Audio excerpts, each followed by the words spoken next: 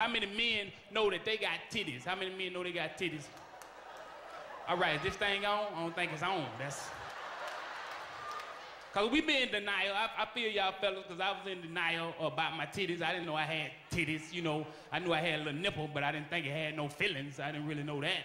But uh, uh, my wife was like, uh, I'm gonna kiss your titties tonight. You know. And I was like, I ain't got no titties. I got a chest. This ain't got no feelings. And she was like, quit being a punk. You know, you call a nigga a punk, he'll pretty much do anything, but you're gonna feel real punkish waiting on your titty to get kissed, you know, cause, cause I felt real crazy. She was like, lay down, you know, and I started laying down, and I'm like, I feel real bitchy right now. I don't really know, you know, what's my responsibility. I don't really know what the hell I'm supposed to be doing. And, and why my hand keep going up? I don't like my hand keep going up like this. And I, I tried to fight it. I tried to fight it, but she started uh, nibbling on the little nipple. You know, I was like, I ain't gonna like it. I ain't gonna like it, but she like, mm mm mm. And I don't know who started this shit, but I felt my eyes getting real heavy. I was like,